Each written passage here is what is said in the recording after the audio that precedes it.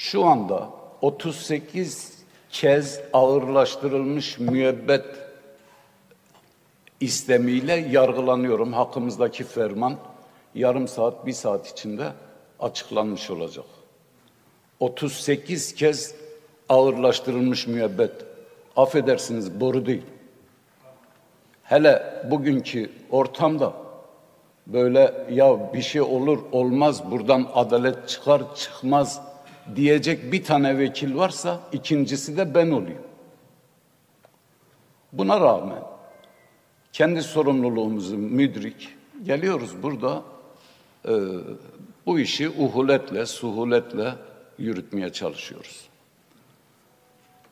Bu sayın milletvekilinin bilmesi gereken şu ki ben parmak sallanacak bir insan değilim.